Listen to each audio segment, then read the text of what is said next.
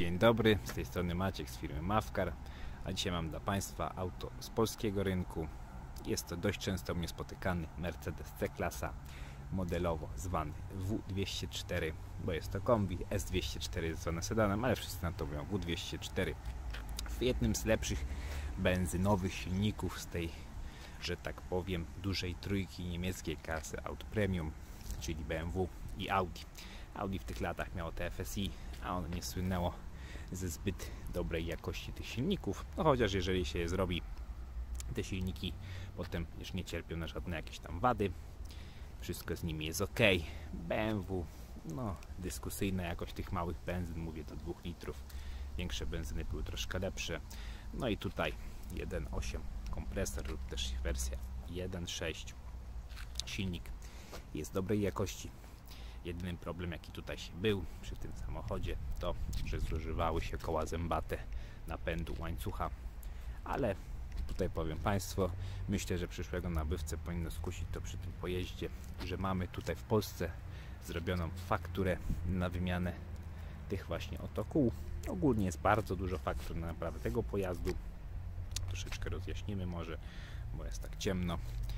I to jest naprawdę bardzo fajna rzecz, bo poprzedni właściwie widać, że dbał o ten samochód, zbierał na wszystko paragony. Na przykład mamy też zakup nowych alufek, to się rzadko zdarza w Polsce z nowymi opanami. Są to alufelki 18, które teraz widać. Są czarne, ale to jest taki czarny z połyskiem, prawdziwe czarne, nie malowane sprayem czy tam gdzieś u lakiernika. A co do aucie jest to rocznik 2008 z przebiegiem 228 tysięcy motor jak wspomniałem 1.8 kompresor tutaj w mocy 156 koni. Auto naprawdę przyjemnie utrzymane. Oponki tak jak wspomniałem dwuletnie. Klocki tarcze w dobrym stanie. Cóż jeszcze tutaj dodać też też ciekawe wyposażenie. Bardzo ktoś ładnie do tego mm, jakby to powiedzieć stylistycznie dobrał bo czarny alus fajnie pasuje do tych przyciemnianych szyb. Szyby też były przyciemniane w firmie w Polsce, ale tu później Wam pokażę po prostu mm, paragon i też fajnie grają według mnie te czarne takie obramówki wokół yy, no, szyb i przede wszystkim czarne lusterka. No i na końcowy akcent według mnie najlepszy mamy tutaj grill ala Avantgarde lub też muszę spojrzeć czy to jest wersja AMG z bardzo taką dużą kratą. Teraz jest dość ciemno, to tego nie widać, ale macie spojrzenie na to z bliska. Też również znaczek Mercedesa na masce. Nie jest typowo niebieski, tylko tutaj czarny, więc prezentuje się to naprawdę bardzo ładnie. Nie ma tak zwanej wiochy. Wszystko jest tak, jak powinno być. A na wyposażeniu zewnętrznym składane elektrycznie lusterka czujnik światła deszczu, przeciwmgielne i, i, i mamy jeszcze światło do jazdy dziennej. Myślę, że da reszty do opowiedzenia w środku. No i przy okazji jeszcze jest elektrycznie otwierana tylnia klapa z kluczyka. Pokażę Wam jeszcze wnętrze, bo fotele półskórzane też bardzo ładnie utrzymane, niezniszczone. Dobrze, no to nagrajmy sobie wnętrze pojazdu.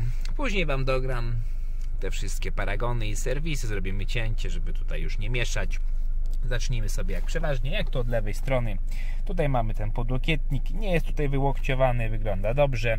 Szczotkowane aluminium, przyciski od elektrycznych szyb centralnego.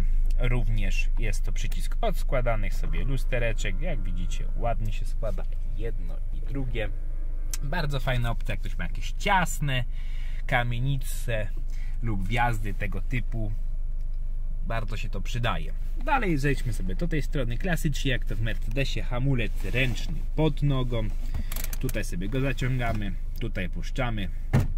Dla wielu osób, które nie miało Mercedesa, może być to nowość. Tutaj mamy przełącznik od automatycznych świateł, tak jak wspominałem. Dalej mamy licznik. W liczniku sobie tutaj licznik jest troszeczkę większy. O, o tym zapomniałem Wam wspomnieć. Yy, możemy tutaj sobie przełączać między nawigacją, audio, telefonem, ustawieniami i takimi innymi rzeczami. Czasami są takie malutkie liczniki, które pokazują nam tylko przebieg i jakieś tam drobne informacje. Kierownica wygląda przyzwoicie, nie jest idealna, no ale też auto ma swój przebieg.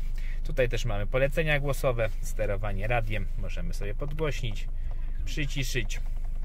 Wszystko tutaj w tym aucie działa. No i tutaj pole środkowe, jest też dużo większy wyświetlacz, bo są też takie małe. Na tym wyświetlaczu mamy oczywiście nawigację, radio, no i te wszystkie rzeczy, które chcemy żeby tutaj, żeby nam wyświetlały. Panel środkowy prezentuje się tak. Klimatyzacja dwustrefowa sprawna. No i tutaj też możecie zauważyć dalej to szczotkowane aluminium. Fajnie to przechodzi razem, że ten wokół obwódka licznika też jest srebrna i dalej fajny taki klimat tego auta ala takich lat 50. wstawek z metalu. Spójrzcie też na fotel pasażera, też bardzo ładny, pół skóry, bardzo wygodny i muszę Wam przyznać, że wsiadłem do tego auta, nie ustawiałem fotela praktycznie, od razu poczułem się jak na miejscu, bardzo wygodna pozycja, pod łokieć idealnie, pod drugi łokieć bierzemy za kierownicę, bardzo wygodnie się siedzi jak to w Mercedesie, sam miałem Mercedesa przez dłuższy okres czasu i szybko się do, idzie do nich przyzwyczaić. Mieszek, jakieś drobne zużycie na gałce, wolę Państwu tutaj pokazać, żeby nie było zaskoczenia.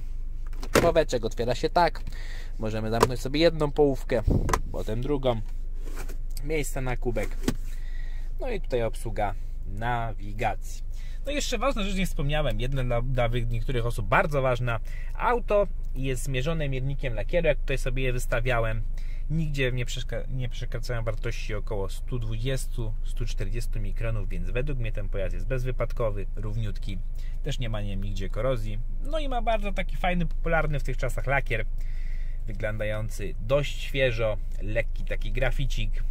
Fajnie się to według mnie prezentuje. Dobrze, to przejdźmy sobie do tych właśnie serwisów. Przechodzimy dalej, jak to mówi Tomasz Hajt, to teraz truskawka na tak zwanym torcie, czyli te wszystkie wymiany, czyli ile było w tym samochodzie zainwestowane. Proszę tutaj spojrzeć, jest tutaj akumulator kupowany w lipcu 2002 roku, czyli mamy gwarancję praktycznie na dwa lata, więc myślę, że nam się to nie popsuje. Czyli pierwsza wymiana tutaj mamy z głowy. Dalej przejdźmy sobie tutaj wymiana łączniku stabilizatora. Jak widzą Państwo, tutaj też ktoś nie żałował, kład można powiedzieć, oryginał Lemfordera.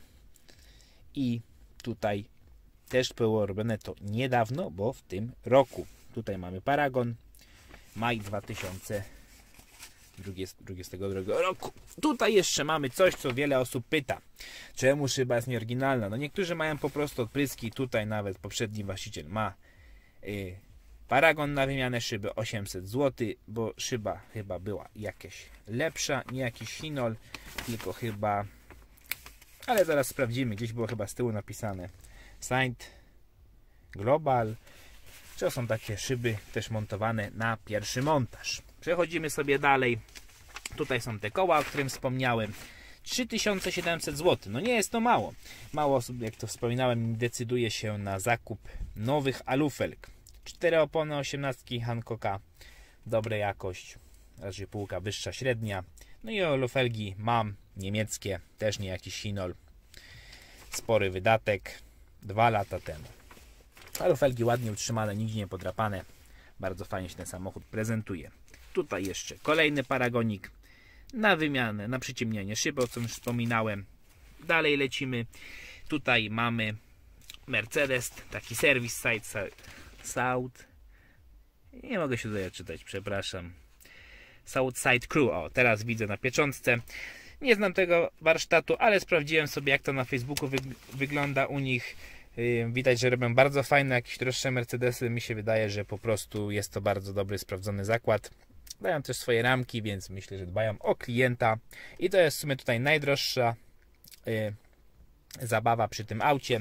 Tu jest paragon na te zmienne koła zmiennych faz rozrządu 2,5 tysiąca złotych plus tutaj mamy wymianę 700 zł więc 3200 takie zrobienie takich kół ale myślę to jest spokojnie y, na 200-250 tysięcy kilometrów jeżeli były to te wzmacniane koła a nawet nie 200 tysięcy kilometrów myślę, że spokojnie ktoś na tym przejedzie.